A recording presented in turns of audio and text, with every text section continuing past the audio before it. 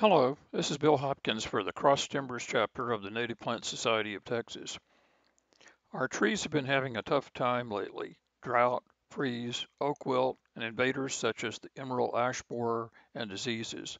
Especially since the winter storm of 2021 and the drought, trees are more susceptible to disease and pests moving in. Today, we have woodland ecologist Kimberlee Peterson from the Texas A&M Forest Service to help explain what's happening with our stressed out trees. Kimberlee is based in Mineral Wells and is responsible for 29 counties in the north central Texas area. She grew up in Mansfield and has a master's degree in agriculture and natural resources from Tarleton State University. She joined the A&M Forest Service in 2021. Welcome, Kimberlee. Okay, so my contact information is at the bottom of the screen. Um, that is my work cell, so you can either call or text that number. Just make sure if you text, make sure you tell me who you are.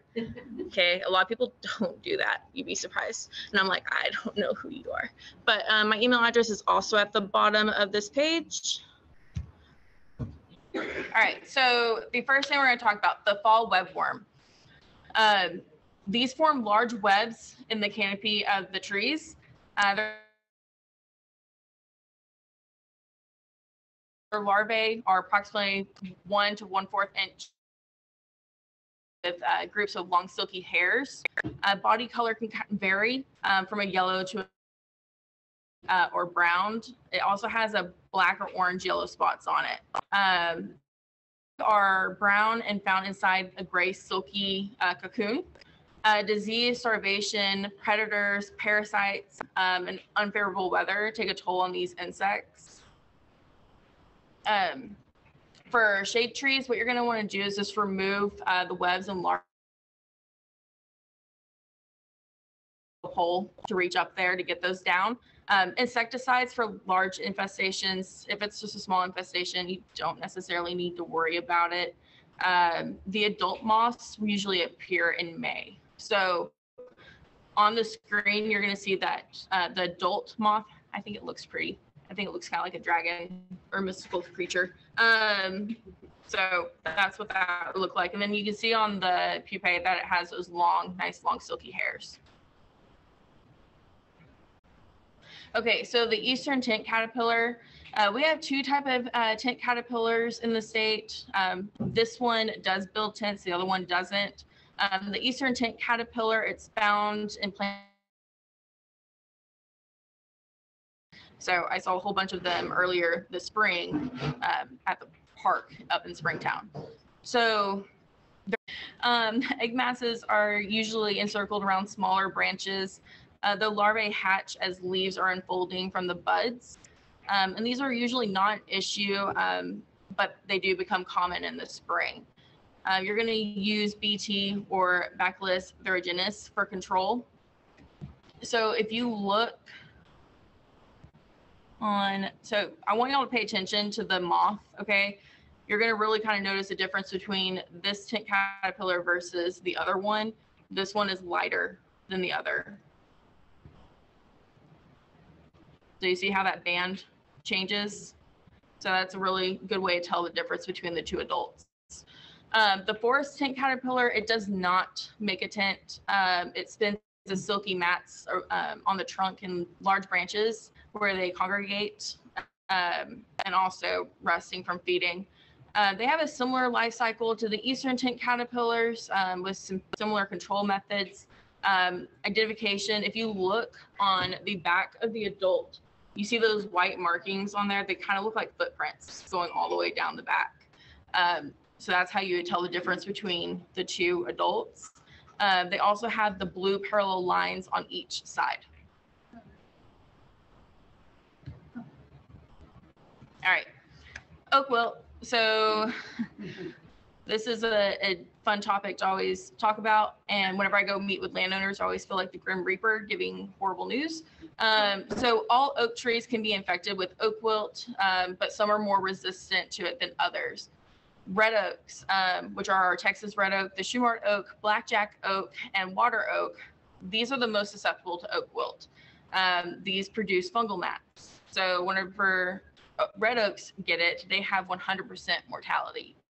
Um, so you need to, like, if you know that you have oak wilt in the area, highly recommend just going ahead and do an injection just as a precaution. Um, so if you find out that your neighbors, you know, have it or whatever, um, but once it has it, you can't inject it to save it. It's done. It, it normally dies within about three to six weeks. So it's a very quick process. Um, our white oaks are the post oak, bur oak, Mexican white oak, the white shin oak, Durand oak, lacy oak, and chinkapin oak. Um, these actually show some tolerance. So it's very, it's not, I say it's not very, it's not as likely for these oaks to get it. It's very hard. So if you just have nothing but post oaks um, and no other oak species, is probably not going to be oak wilt. But if you have, you know, a ton of live oaks and red oaks that all had oak wilt, then the chances of the post oaks getting it does increase. Um, live oaks, these have an intermediate susceptibility. Um, live oaks are notorious for interconnecting their root system and they can actually spread the fungus through the roots. Okay.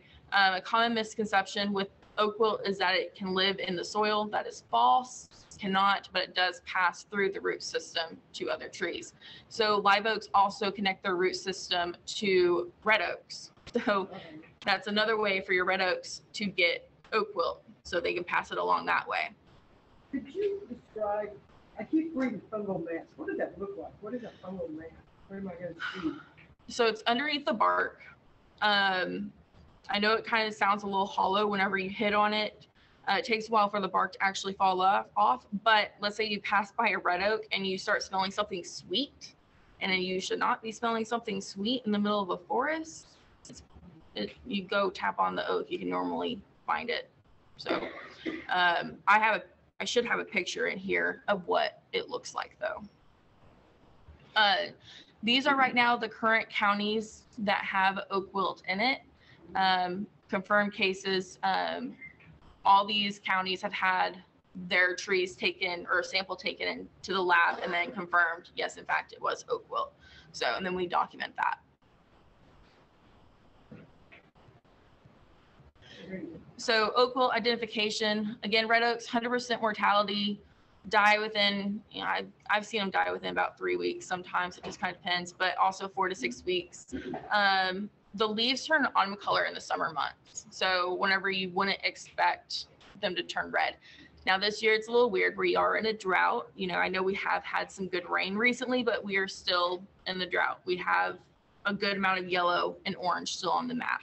Um, so we're seeing our oaks and a lot of other tree species, their leaves are turning brown. And with our red oaks, they are, you know, still turning that red color and people are freaking out thinking that they have oak wilt.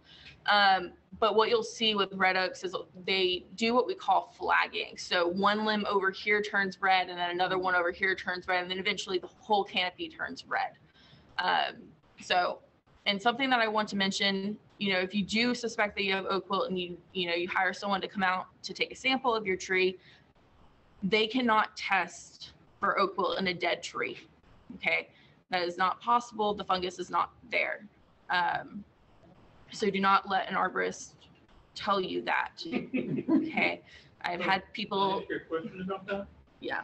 Yeah, so if, the if the fungus goes away, uh, when the tree dies, that's what you're saying, right? Because it has to, it has to feed on something that's living. Yes. So it does. It depends.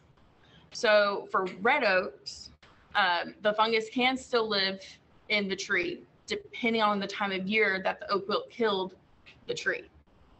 So let's say your tree died right now from oak wilt, it probably will not create fungal mats the next spring. But if your tree dies later this fall from oak wilt, then it can produce those fungal mats in the spring. Does that make sense? Of. It's kind of weird. It, it, it, it's not an exact science, okay? we try. Yeah. It sometimes it just depends. That's my favorite answer to anything natural resource. It depends. Um, there's a lot of factors going into that. Um, so, but that fungal match is on that bottom right picture. That's what you would see. Uh, your white oaks, you're going to see some of the canopy loss, and then your live oaks, Um, these defoliate and die within about three to six months. What you're going to see is that veinal necrosis, which is that discoloration on the leaves. And I actually have a couple leaves with me if y'all want to pass them around. These are just leaves that fell on the ground. Um, and you can see the pattern of oak wilt even on um, brown leaves. So, you know, they've been there for a year. They've completely lost all green on them. Um, what it's going to look like is the outer part of the leaf is going to be that nice light brown, and then the veins are going to be a dark brown. And but you still see that oak wilt pattern. Uh, when I see that, I know right away what I'm looking at on a live oak. Um, the earlier it's caught, the better. Ideally, you know, you want to treat them with the fungicide before they start showing symptoms but let's say you you know you've waited a while and they've been showing symptoms and then they've lost a good portion of their canopy that is as good as your tree is ever going to look if it survives the treatment with fungicide. Um, the fungicide that we recommend using is propiconazole uh, it's through the brand alamo. And so what the arborist would do is come out dig around your root system at the base of the tree and then drill holes into those roots pump, uh, pressurize a pump up to 80 psi and then inject that fungicide. So it's basically forcing that fungicide up into the tree. So what oak wilt does is it shuts down the vascular system in the tree. So the tree cannot bring up nutrients and water, so forth. Um, so you're really having to force it in there. Uh, oftentimes in the summer, arborists are recommending if you do get your trees injected to water around the root system. That way it kind of triggers them to know that they need to start taking something up at least a day before they come out. It takes around two to four hours to inject, just kind of depends on the tree. Um, and also the weather conditions as to what's been happening. Um, it can be kind of costly to treat. I've had landowners tell me that arborists have quoted them anywhere from six to nine thousand dollars to treat two trees. But I normally recommend uh, watching them do at least one or two of the trees, and then if you have a lot more trees that you want to save, um, you know, watching them do it, and then you can actually do it yourself because the actual fungicide isn't that much. It's the labor that is going to get you. Um, but it is about 15 to 20 dollars per, per inch of diameter of the tree is how much they're going to have to end up using. So, all right, so oak wilt spread. Um, movement of infected red oak wood or any uh, wood, essentially, we tell people it makes it a lot easier just to not move firewood that, you know, from trees that have died of oak wilt. Because um, people get really confused the difference between a red oak and a live oak, and you just no wood movement at all. Um, so they spread by sap feeding beetles. So these are really tiny little beetles. Um, that bottle, bottom middle picture is a um, kind of just to give you an idea of how small they are against um, a quarter. They're about the size of the tip of your pen. Itty bitty. Um, and it's multiple species of sap feeding beetles, not just one. So it's not like we can just trap them and, you know, say we're, we're done, we're good. Um, we're going to be dealing with this. Uh, again, the live oaks have those interconnected root systems. Um, how do we manage it? You know, we're going to try to prevent those new infections. Removing and destroying any diseased trees, um, red oaks, you know, pretty immediately once you realize that what has killed them. Um, proper pruning time and practices. So we recommend to not prune uh, between February through June. So, but this year we're also saying to kind of push that a little bit further into the fall um, just because they're they are stressed. All the trees right now are stressed from the drought. Um, so if y'all want to prune, you know, wait a little bit longer. Um, handling of firewood, again, you know, you don't want to move it to new locations. You know, that's oftentimes why you see state parks and national parks saying, you know, no bringing in untreated wood or, you know, wood that didn't come from the park uh, to pre- prevent those spreads of diseases. Now, is that because the beetles are still in the wood? No, that's with the the um, fungal mats.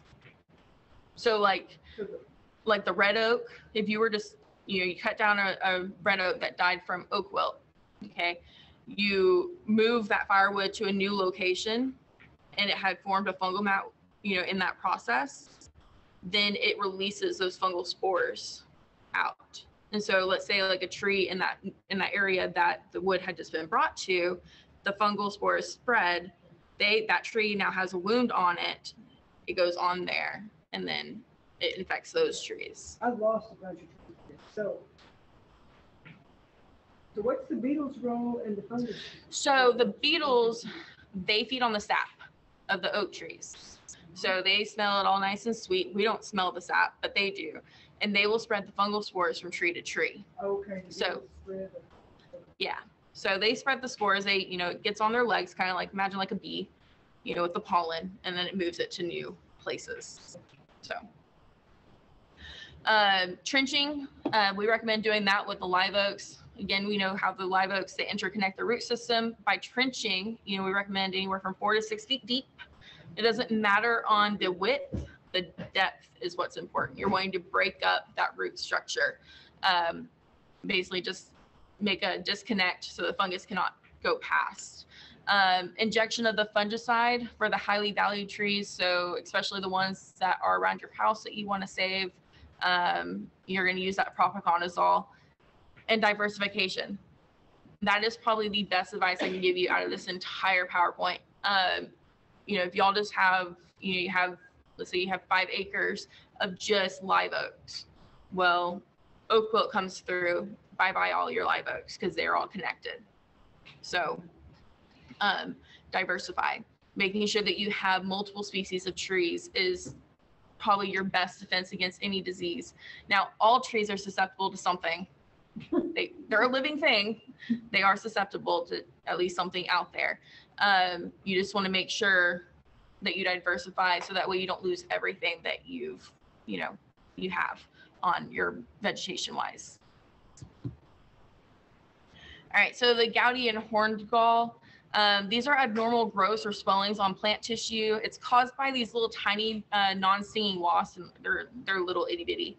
Um, so what the what it does is that when the wasp lays its uh, eggs, and basically the tree responds by forming a woody thing around it uh, that provides um, protection and food um, and shelter for the larvae as it develops, and then it will will leave that afterwards. Oftentimes, you'll see them af- the gulls after the fact, so the wasp has already gone and done its thing. Um, aesthetically, it's not really pleasing, but it really does little damage to your tree. Um, you're going to see this really in early spring. It's from the wasp from the Cynipidae family. Emerald ash borer. Okay.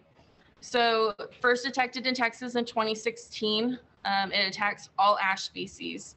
Um, it's confirmed in um, various counties. I actually have um, I have more counties I think on the other page, but um, in this area it's Tarrant, Denton, Parker, Dallas, and Wise counties. We added four of those this year. So it started in Tarrant in 2016, and we added Denton, Parker, Dallas, and Wise all this year. Um, so the females, they do a, a maturation maturation feeding uh, for 10 days after mating. Um, after they feed, they lay um, the eggs into the bark cavities, so into those little crevices, and then the larvae, once it hatches, will bore in. Okay, um, and then they make these little gallery patterns, and I'll I'll pass these around, but they're kind of S-shaped, kind of going all which direction. And then on here, I also mentioned the D-shaped exit holes. That's what these are marked with red. So they are very distinctly D's. So think a capital D. So, um, and then there's, I also have an adult and then a larvae. Um, also, if y'all want to take a look, show and tell. Um, I like show and tell. Um, so what you're going to want to do is just you're going to remove your poor conditioned ash trees. Um, they are going to be you know more susceptible, but your healthy ash trees are also susceptible. Um, emerald ash borer does not. Um, uh, it just it chooses any of them. I've seen them on young ash trees. I've seen them on big mature ash trees. It just they don't discriminate at all. Um, you're going to want to plant species that aren't susceptible to EAB. This is where diversification comes in hand. You know, the Dallas area, a huge part of their park system and around the rivers is nothing but ash trees. And so they're having to come up with a plan now because they have EAB in Dallas County. And they're going to have to figure out how they're going to protect all their ash trees that are their dominant tree species. Um, you know, we're also seeing like Arlington and Mansfield, a lot of their new trees they planted are ash. And I'm just like, oh, that was a horrible choice um, since we have this. But any of your high value trees, so the ones that are, you know, again, closer to your home, um, providing shade or whatever, you're going to want to uh, treat those with a systemic in, uh, insecticide. And so just to uh, clarify, it's all ash trees or? All ash trees. Any particular? Nope, it's all, all of them. So, um, so we believe that EAB came from somewhere in Asia, and we believe that it made its way over here um, in a shipping container. So an adult laid her egg in some some ash wood that was being used as a shipping container, and you know it starts feeding on the wood. It gets over here, has formed into a full fledged adult, and has spread. Okay, so funny enough, EAB is not an issue in Asia. Right. So yeah, not an issue in Asia. So their ash trees evolved with EAB. Okay, our ash trees did not. So they actually do not know anything about emerald ash borer. They never have cared to because it never caused an issue.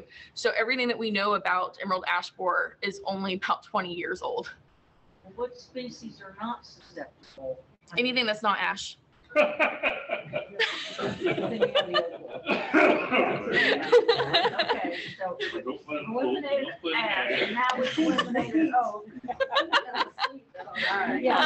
There you go. Diversify. Well, Um, yeah, I, when this, when I first started reading about this, the, it was, it was pretty much a doomsday that this is gonna do to ash trees what Dutch elm did, did Dutch elm disease, and basically the US, the ashes in the US do. Is that still the thinking? That yes. They're gonna, that they're just gonna take it out, and these are just gonna be gone. um, up north. Um, so I think it was in Michigan where it was first detected in the United States. Um, they do not have any more ash trees. You will notice that baseball bats are no longer made out of ash wood. They have had to move to a completely new material because they lost all their ash trees to do that. So, There was a couple blocks of uh, new homes in Denton where they had ash wood, the, tr- the trees, mhm, the street trees. and They're all dead now. Yeah. And, and the city is stuck. They've got, they've got to take them out. It's a huge, huge Yeah. thing. it, it's. I'm not recommending planting. Ash trees at the moment. We do think that there is a southern limit for emerald ash borer. So we we believe that it may get too hot at a certain point going further south. Okay. Um, but we're not sure exactly where that border is. So every year in the spring, we put out these purple sticky traps. Um, you may have seen when I put one out at the Weatherford Park Trail um, over by that dog park. Oh, I wondered what that was. Yeah, purple triangle trap. Yeah. Yeah, that's the EAB trap. Oh, Um, so we put a lure in there. Uh, it kind of smells like the ash leaves to attract them. It doesn't do a very good job at attracting them, um, but they're attracted to that very specific color of purple. Um, we do know that. I don't know how we figured that out, but we figured that out. Um, Goes well with the green. I guess. Um, so, but yes, we do the purple traps in the spring. Um, we're trying to figure out just how far they're spreading. Um, I, we put out around 500 traps a year. with So, the hundred and twelve degree temperature we had, do anything? to kill 'em? I don't know. Hopefully. Everything that we know about emerald ash borer is only 20 years old. Um, I know at one point we did something stupid as far as br- trying to bring over a wasp that hunts them over in Asia, um, over here. Why we did that, I don't know. Why you would bring another pest over here that doesn't belong here to take care, but it didn't survive. It, it got too hot here. So that's why we think that there's going to get to a point where it's too hot for them to survive. That's why we've kind of come up with that theory. That's about- that's about- So, Um, Warming is gonna solve the problem. I guess, I don't know. Who knows? Um, so you'll see the bark split. Um, you'll see that zigzag pattern that you saw on those, on that sample. Um, it's not always that pretty. Sometimes whenever there's a lot of larvae or it's been many years, it gets kind of confusing to even tell where those channels are because they all kind of mix together. Um, the white flat larvae, as y'all saw, they kind of have like a bell shaped, or I've been also told that it kind of looks like a spine. Um, and then you're also going to see a heavy feeding by woodpeckers. Okay, so if you start seeing a heavy um, feeding by woodpeckers on your ash trees, you know, you might be having an emerald ash borer problem. Um, unfortunately, that heavy feeding by the woodpeckers is noticed later on in the stages. So it could be a few years before you actually start seeing that. So how long does it take to kill the tree then? A year? Three to five years. Oh, So if you treat them with this insecticide, how often do you have to treat them, these trees? Every year? I, think, I would think every few years. Every few years, and we recommend within 15 miles of um, where it's been last detected. So, you know, those around, those of you around the Fort Worth Nature Center, I, I would be injecting your trees. So an injection. No, it's it is an injection. You are, it's kind of similar to the oak wilt, as in you are drilling into the tree and then you are forcing an insecticide inside it to kill it. So I am not exactly sure how much the cost of that is. Um, but I, again, I would think it would be kind of similar as far as labor goes, but you're not having to dig out around the roots. It's just straight into the trunk base. Um, this is our current map of with the counties where it's been detected. Um, you'll see the five um, counties in this area. Um, again, the total, uh, we've added six counties this year. Um, that bottom website is our website for EAB. You can just type in uh, TFS TAMU into Google and then EAB as well, and that will pop up. Uh, it should be the first choice that shows up on that uh, Google page. All right, so soapberry borer, it's similar to EAB, but it has the white dots on its back. As you can kind of see in, in that picture, they're kind of, they're not very big. Um, infestations are, are similar to EAB. It's originally native to Mexico. Um, beetle attacks and kills all sizes of soapberry trees, uh, larger than two inches in diameter. Um, heavily infested trees um, will be completely girdled with white larvae feeding beneath the bark. So they're going to make those similar patterns, but they're going to not be so zigzag, but more straight lined. Um, you're going to see dieback from the top and produce abundant amount of uh, sprouts from the trunk. Um, and it will take about three years to die. Uh, you're going to want to uh, use a emamectin benzoate systemic insecticide. Um, again, these produce a D-shaped exit hole. Um, there's not very many of our beetles that do that. Most of our uh, borer insects produce like a circle exit hole. Uh, Phytophthora uh, root rot. So this is going to target the plant's root system, um, its ability to transport water and nutrients. Um, what you're going to see is rotting of the stem, crown, and root of the plant. Uh, it's going to impact many hosts, um, excessive yellowing and loss of foliage, uh, stunted growth. Um, you're going to see some wilt and darkly discolored or dead feeder roots or stems. Uh, with severe root rot, you're going to see stunting or wilting. Um, you're going to see some abnormal foliage growth, uh, reddish brown discoloration, as you see in that bottom picture, um, and then a lack of new shoot development as well. And then also it can cause death of the tree. Um, cause is too much water, correct the irrigation problem. Um, a lot of times, you know, yes, we are in a drought. Yes, you need to water your trees to kind of help support them through this drought.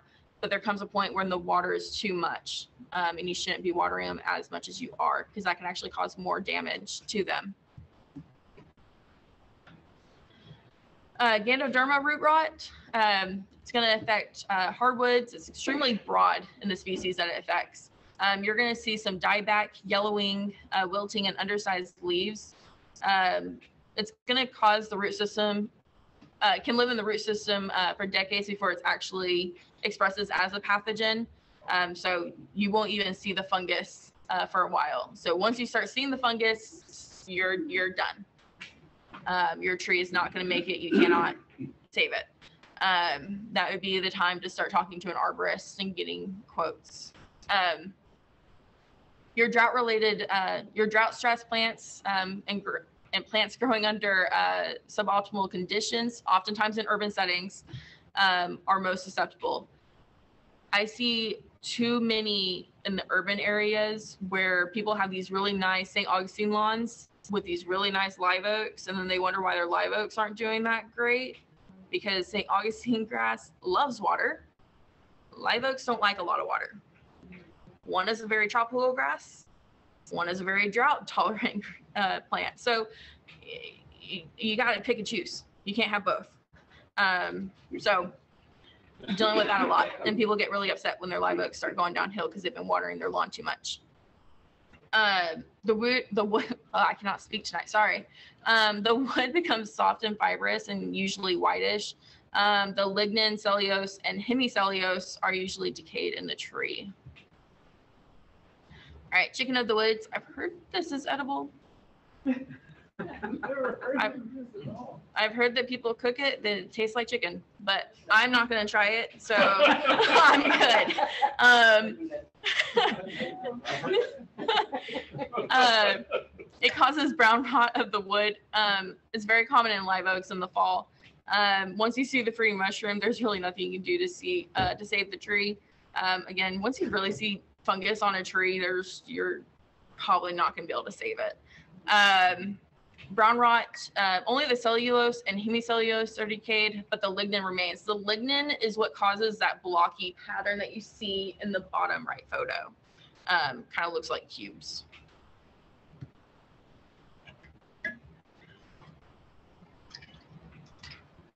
Uh, Prenifolia, uh, filifolia, uh, whatever, um, feeds on the corky outer bark tissue. Um, it does not decay the wood of the living tree. It just stays on the outside. Um, it's a type of white rot fungus. Not an issue if you see it. Do not freak out. Don't feel like you need to go purchase any fungicide. It's fine. Um, not going to harm your tree at all. Um, everyone here knows what lignin is. No. Okay. Um, so, or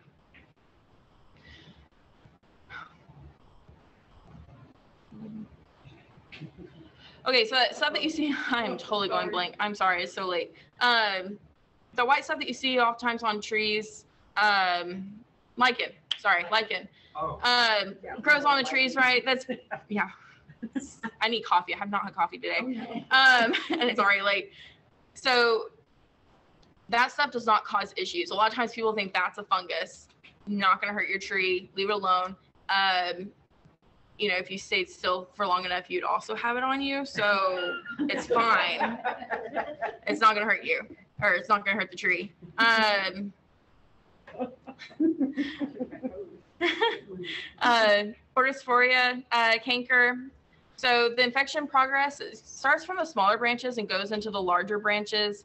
Um, you're going to see some dieback, cankers, discolored bark.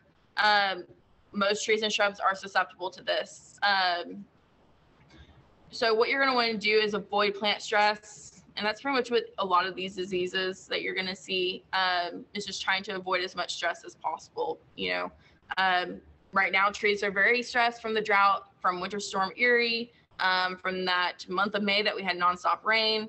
You know, we've gone from one extreme to the next.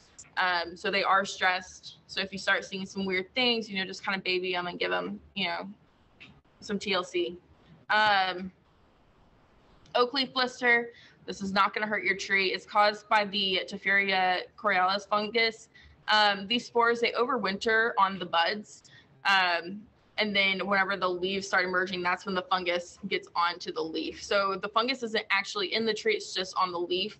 Um, how you're going to want to do it, uh, take care of it, is just like that next year when it drops the leaves, you're just going to want to rake up all those leaves and destroy them. Um, that's going to help put a break in the cycle.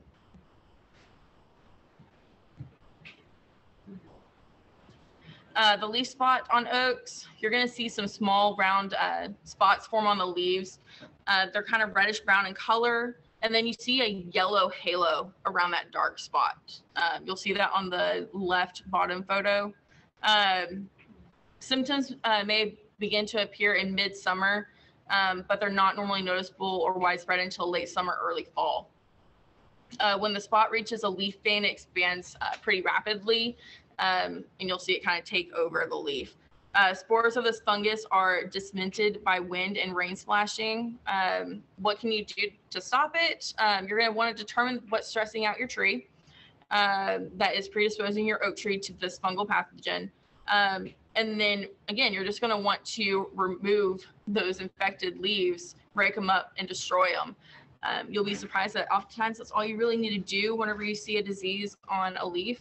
Um, just remove the leaves and kind of stop that uh, pattern from happening again. Um, when I tell people that, they don't believe me, and I have to, you know, kind of walk them through the process. So, um, live oak rust. Um, this is going to infect pines in midwinter. Um, so live oaks are semi-evergreen. So you know they keep their leaves year round, and then they drop those leaves when they replace their new ones. Um, the tell stage is um, produced on the evergreen oaks. So you're going to see like a yellow to orange pustule um, on the oak. It's, so if you look at the right picture, you'll see these little yellow dots. They kind of look like um, like a like a fuzzy moss almost um, on the back. Uh, Phomopsis tip blight. You're going to see this mainly on eastern red cedar. Uh, branches die from the tip to the base. Um, your new young seed uh, needles um, at the end of the branch are more susceptible. Um, avoid wet, humid conditions and overhead irrigation. Uh, remedial pruning of disease tips and branches during dry weather. And then you can use fungicide to control the disease of your highly valued landscaped uh, specimens. I know a lot of people in the area like to use um, our junipers uh, for like kind of like a, a blind or some sort of break for sound. So you know, oftentimes I would recommend doing that if you start seeing it on those. Uh, Seiridium canker. So oftentimes you're going to see this on the Italian cypress, uh, but you can also see it on uh, juniper and um, arborvitae. Um, enters a tree via a wound through the bark. Um, your cankered areas, they're going to continue to spread from the branch to the trunk um, and eventually will girdle and kill the entire upper crown portion of the tree. Um, spores will disperse during wet, rainy, and windy conditions. Uh, distinct sunken necrotic dead lesions will um, occur along the dead branches and sometimes with gummy resinous um, stuff linking out of the surface. So you can kind of see that on that bottom picture uh, where it kind of looks shiny and brown, kind of that darker color. Um, you're going to want to avoid stress and wounds uh, remedial pruning on the dying and dead branches uh, can kind of delay the disease uh, progress. So you're kind of seeing a theme, minimize your stress on your trees, kind of, you know, help them out so that they aren't susceptible to disease. Cotton root rot, uh, pines that grow in alkaline soils are susceptible. Um, primarily been a problem in Afghan pine um, species adapted to dry alkaline soils. Um, Chinese elm is also susceptible. Um, you're going to see the symptoms are going to occur between June and September. Um, your first symptoms are a slight yellowing or bronzing of the leaves, and then you're going to see a rapid wilt as well. Um, the fungus generally invades new areas by con- uh, continual slow growth through the soil from plant to plant. So you'll see kind of at the bottom uh, the rhizomes, and they're kind of spread out through the soil. That's how it's going to going to pass through. Elm leaf beetle. Uh, Chinese elm is the most affected. Uh, it's going to strip foliage entirely from an elm. Um, there's no management needed in forests. Homeowners can uh, spray foliage though if uh, when they observe it. Okay, bagworms. Uh, these are found on our cedars, junipers, cypresses, and evergreens. I do want to make it really clear we do not have cedars in the state, we have juniper. Uh, everyone calls them cedar, but that's not correct. Um, all of all of our cedars, as people like to call them, are actually um, in the genus Juniperus. So I want to make that very clear. We have junipers here in the state. Um, you may hear e- that eastern red cedar, still juniper. Common names lie. So I want to make that very clear. Um, these can also attack um, the broadleaf trees also, so your oaks, your maples, and your elms. Um, several different species of moss are gonna, you know, create these bags. Um, birds and insect parasites and insect par- uh, predators are natural enemies of bagworms. Um, control method is to remove the bags. So if you see one, just go in and remove it. Uh, spider mites. We've all dealt with these.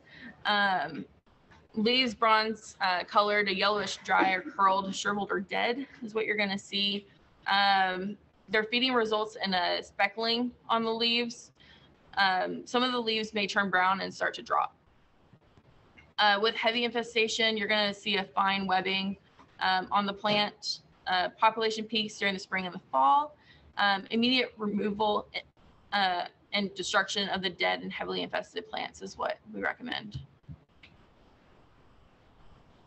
Um, Lecanium scale, um, it's mostly as often associated with the oaks, but hickory, birch, and many other trees and shrubs are also attacked. Um, infested trees often become sticky with the honeydew that it produces. Um, honeydew fosters a, like a sooty uh, mold fungi um, that darkens the leaves and stems and objects below. Um, it's very abundant on the urban uh, trees. So due to the high temperatures and drought and you know all the other stressors that people in urban areas like to put their trees through, like putting concrete over a root system and so forth. Uh, pecan phylloxera. Um, so these are the galls on pecans. Um, so again, like an insect has gone and uh, basically laid its larvae, and then it uh, forms over it. So it's the plant's reaction to another thing. Um, so the feeding injects the toxin into the pecan tree, and the tree again responds by forming a gall around that insect. Um, so with high infestation levels, it can cause uh, deformities in the current year shoots, um, which reduce the tree's growth rate and overall tree vigor. So you're going to see some dieback as a result of that. Um, trees usually recover unless they are suffering from other stressors. So whenever you see galls like this or the oak leaf blisters, you know, your tree is going to survive. Just try to minimize those stressors on it. Um, and you will start seeing that recover in the following years. Um, so you can apply an insecticide after, um, but unless you like get it in time, there's no really no point in doing it. Uh, bacterial leaf scorch. Uh, it's caused by the bacterium Xylella fastidiosa. Um, you're going to see it on oaks, sycamores, um, elms, box elders, and silver elder trees. Uh, vectored by insects, so often your your leaf hoppers. Um, looks like a yellow band between the scorched. So if you look where that arrow is pointing, there's a nice yellow band that is in between the green and the red. Um, so you can start seeing some early defoliation and dieback. Um, infected trees will eventually need to be removed and replaced. So oftentimes, especially this time of year, if we start seeing bacterial leaf scorch, it can also be, um, people can also think that it's oak wilt. So they kind of can look a little similar. So that's when the testing comes in hand. Okay, so that was the last one. I do, I have a, I had a thought, but um, you can follow us on social media. We're on Facebook, Twitter, and uh, Instagram. And I do not know why everything got shifted downward. um, I looked at this at home before I came, and everything was fine. Um, so on Facebook, it's the Central Texas A&M Forest Service, and then my contact information. Um, resources, the texasoakwilt.org website, great resource. Um, we do uh, actually control that one. Um, we created a few years back and we keep it pretty well updated. We have a list of vendors um, on it. So if you're looking for someone to come out and certified arborist that has been oak trained, you know, you can find them there. Um, also, um, Tree MD. So if you don't know what's going on with your tree, you can always look there as well. You can select like if you're seeing issues in your canopy or your bark, you can select that part of the tree, what tree species you you know you're having issues with, and it will give you some ideas as to what you're doing, um, and it can give you some recommendations as well. Is So. that Tree MD is where? Oh, it's on the Texas Forest. Yeah, so uh, Texas Forest Info, or you can just type into Google Tree MD. We try to make it pretty easy to find. It should be the first one that pops up. Thank you so much for being here tonight, Kimberlee.